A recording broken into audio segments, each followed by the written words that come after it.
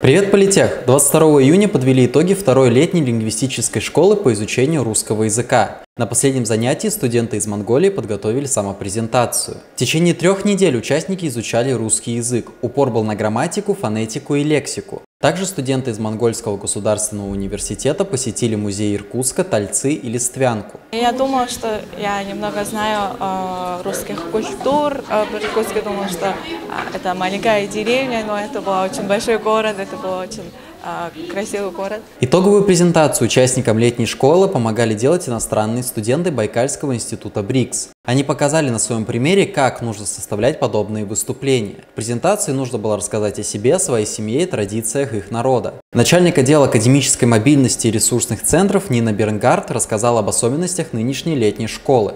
Первую летнюю школу мы провели в 2021 году, куда приезжали студенты из германских вузов.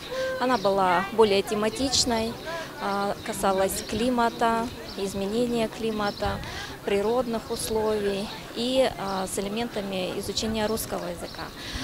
Школа для монгольских студентов а, целенаправлена на изучение русского языка. В будущем организаторы школы планируют проводить обучение не только для студентов, но и для школьников из разных стран.